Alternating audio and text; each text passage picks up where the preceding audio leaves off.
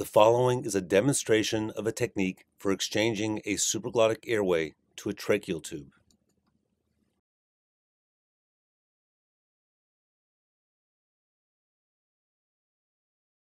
The technique will be demonstrated in an elective surgical case. The patient, who signed consent for photography and distribution of this video, had previously undergone extensive rhinomaxillary surgery for malignancy.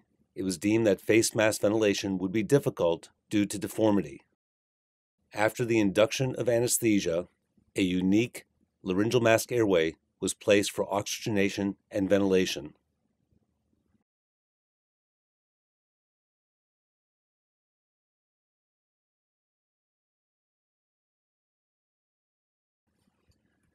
After muscle relaxant had been achieved, the circuit adapter was disconnected and an AMBU A-Scope 3 was used to examine through the barrel of the laryngeal mask airway.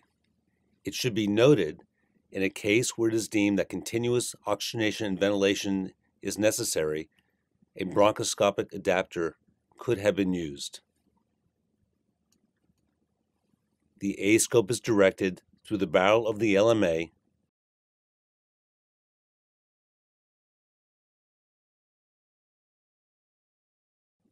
into the larynx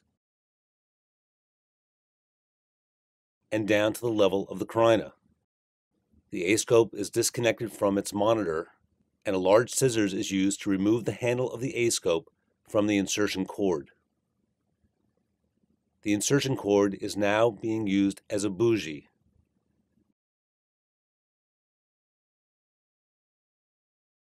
The laryngeal mask airway is retreated off the bougie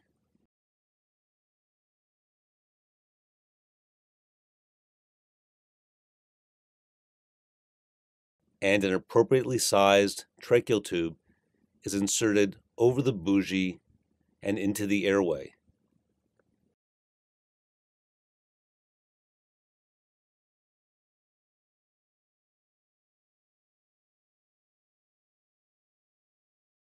The bougie is now removed.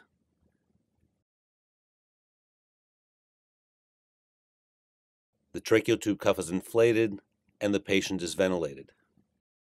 This simple to use technique has only now become possible because of the availability of single use flexible intubation scopes such as the A-Scope 3 from AMBU.